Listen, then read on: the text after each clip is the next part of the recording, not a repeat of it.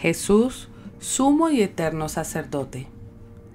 Esta festividad tiene sus orígenes en la celebración del sacerdocio de Cristo que se realiza en las iglesias desde siempre, pero en algunas localidades o diócesis, concretamente España, cobró una forma particular al dedicarse un día del año en particular. Después de la reforma litúrgica del Concilio Vaticano II, la fiesta de Jesucristo, sumo y eterno sacerdote, ha venido recibiendo un impulso creciente por parte de la Congregación de las Hermanas Oblatas de Cristo Sacerdote, comunidad femenina de vida contemplativa cuyo carisma consiste en pedir por la fidelidad de los sacerdotes y por el aumento de las vocaciones sacerdotales. La celebración fue introducida en 1973 con la aprobación del entonces Sagrada Congregación para el Culto Divino, con el patrocinio del Papa San Pablo VI Posee textos propios para la celebración de la Santa Misa y el oficio aprobados dos años antes. Además, otras conferencias episcopales han incluido esta fiesta en sus calendarios litúrgicos, particularmente es el caso de Chile, Colombia, Perú, Puerto Rico, Uruguay y Venezuela. En algunas diócesis de estos países se le denomina Jornada por la Santificación de los Sacerdotes. San Juan Pablo II en su encíclica Eclesia de Eucaristía señalaba que el Hijo de Dios se ha hecho hombre para reducir todo lo creado en un supremo acto de alabanza, aquel que lo hizo de la nada.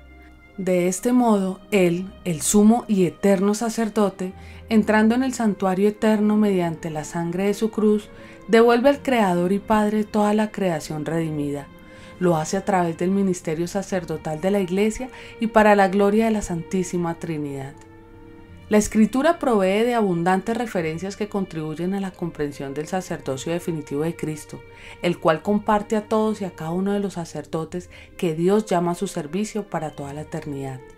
En el Nuevo Testamento, la palabra sacerdote designa ciertamente a los ministros encargados del culto sacrificial, guardianes de la ley y el templo, pero su uso se reserva en su sentido pleno para denominar a Cristo que se congrega al pueblo de Dios en virtud de su sacerdocio real.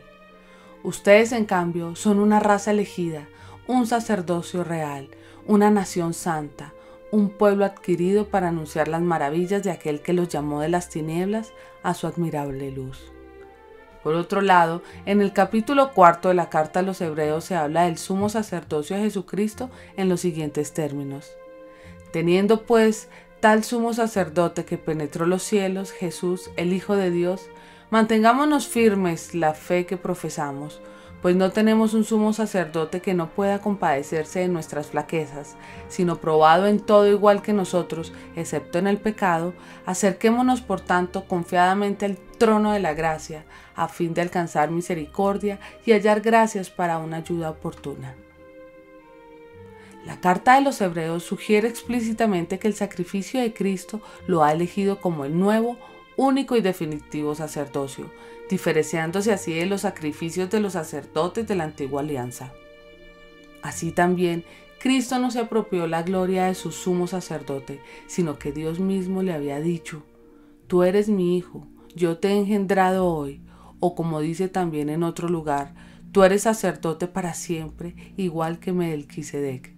Luego se añade, Cristo ha venido como sumo sacerdote de los bienes definitivos. Así pues, continuemos orando incansablemente por las vocaciones sacerdotales.